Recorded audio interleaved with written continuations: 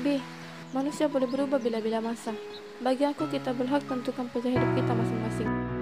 Bukaslah kita.